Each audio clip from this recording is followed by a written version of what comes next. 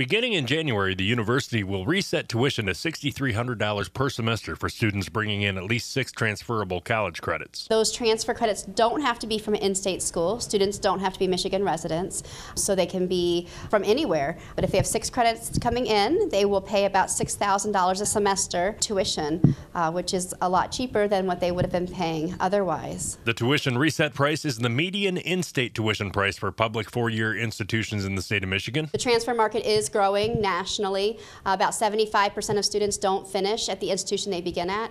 Um, so it's a, a, largely untapped market, and there's a lot of opportunity for schools like Finlandia to grow enrollment through transfer initiatives. The university also offers assistance with access to other programs to help students manage tuition costs, such as a work study program and others that are federally funded. Finlandia President Philip Johnson says that the university delivers uncommon attention that translates into student success, and transfer students also deserve this kind of attention and this kind of success. More information on in state tuition pricing can be found at finlandia.edu. For ABC 10 CW5, I'm Keweenaw Bureau reporter Lee Snitz.